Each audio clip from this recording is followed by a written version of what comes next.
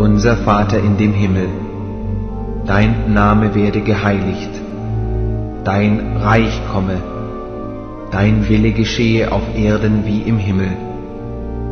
Unser täglich Brot gib uns heute und vergib uns unsere Schulden, wie wir unseren Schuldigern vergeben. Und führe uns nicht in Versuchung, sondern erlöse uns von dem Übel. Amen.